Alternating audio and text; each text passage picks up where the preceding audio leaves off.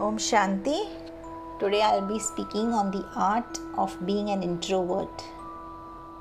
The most common definition of an introvert is someone who gets drained by socializing and recharges by being alone. There's so much more to introversion than that. Everyone is born with an innate temperament a way that you can gain energy from and prefer to interact with the world. Introversion and extroversion are temperaments. Let's review the difference between an introvert, extrovert, and ambivert.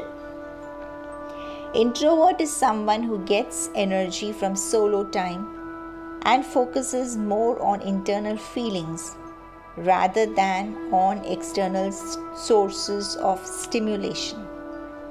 Ambivert is someone who can exhibit qualities of both introversion and extroversion depending on the situation, mood, and people they are with.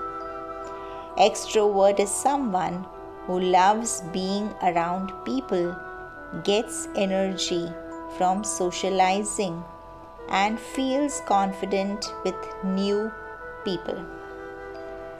An introvert's general tendencies have a direct correlation to spirituality for many reasons. One who spends time buried in their own mind, exploring possibilities and searching for answers tends to have a deeper understanding of themselves and the world around them. As an introvert, it's essential for you to identify and then accept your form of introversion to further understand the workings of your mind, help you cope better with your daily life as you make your introversion your superpower. Being an introvert is something you can be proud of. In fact, being introverted might just be your biggest asset. Here is why. Number one, your calm nature puts people at ease. Whether you realize it or not, your presence does not go unnoticed. Being the one who takes it all in in an upbeat environment is very calming to those around you. Your introversion is a comfort to other people. Number two, less talking equals more observing. Speaking less gives your mind the ability to take in and process what is around you. Taking note of little details someone else might have missed. Being more present with someone and living in the now is great for your relationships. It's most impressive how much someone can miss just by thinking about what to say next instead of just being. Number three, you get to know yourself more. Self awareness is the key to serving yourself and giving your body, mind, and soul what it needs. Spending more time with your thoughts, in meditation and trying to understand what you are perceiving will benefit you. It takes time to know yourself. This is something to be proud of because not everyone can say they truly know who they are. Number four, you can be independent.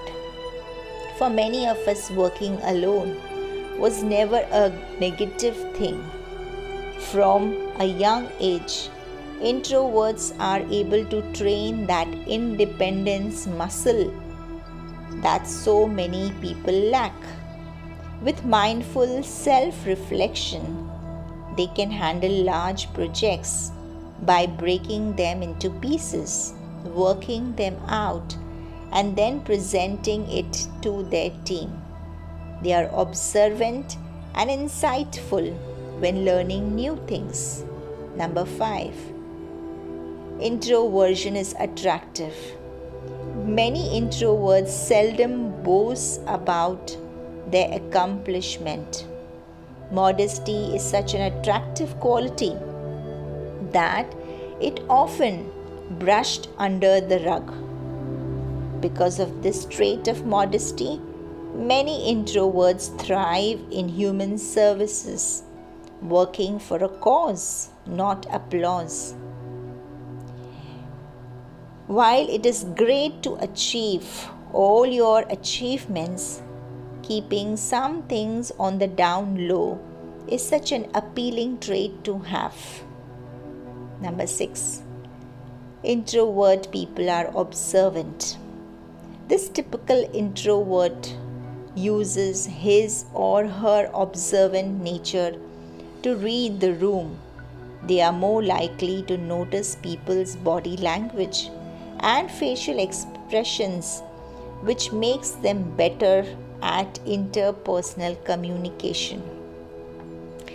Number seven, they can make quality friends since introverts can feel their energy being drained by being around other people as opposed to extroverts who gain energy from being with other people. Introverts choose their friends wisely. They would rather have a few close, trusted friendships to invest their time and energy in, as opposed to a large network of acquaintances. This quality causes introverts to be loyal, attentive, and committed to their friends. Number 8. They are thoughtful networkers. Being in a large group where the goal is to meet, talk, and make a good first impression can be overwhelming for many of us, especially for introverts. Extroverts may approach networking events with the goal of talking to as many people as possible. But often, those quick obs- conversations don't leave lasting impacts. Introverts, however, focus on learning about people they meet, even if they only connect with a handful of people. Number 9. They are compassionate leaders. Since introverts process information more slowly, more thoughtfully than their extroverted counterparts, introverted leaders tend to learn more about their subordinates. They have focused conversations with their team members in order to learn their skills, their passions, and their strengths. Once they gather all this information, they can use what they have learned to help each team member to be more efficient and happier at work. It's also important to understand the relationship and the difference between introversion and fear. If you're hiding your beautiful self because you're scared of what others might think of you, you're depriving both yourself of meaningful connections and others from enjoying the real you. Practices like meditation can help you overcome fears, if any, and make you emotionally strong and help you embrace your true nature. Introverted or extroverted, and share it with others. Let your introversion be your strength and not your weakness. Remember, your quiet nature is part of who you are. It's a good thing. Introverts who embrace their nature tend to flourish. They are happier, have better relationships, do better work, enjoy life because their minds are well rested and their energy level is very high. The best thing you can do if you are an introvert is not try to change it, but to take this alone time you need and let your vast inner world work for you. Being an introvert is a gift. The world has a need for people who go deeper, think before they act, and look at things in a new perspective.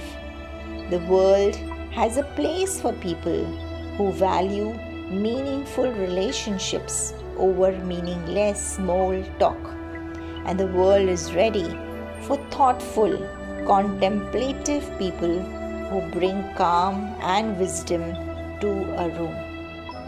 To be continued in part 2. Om Shanti.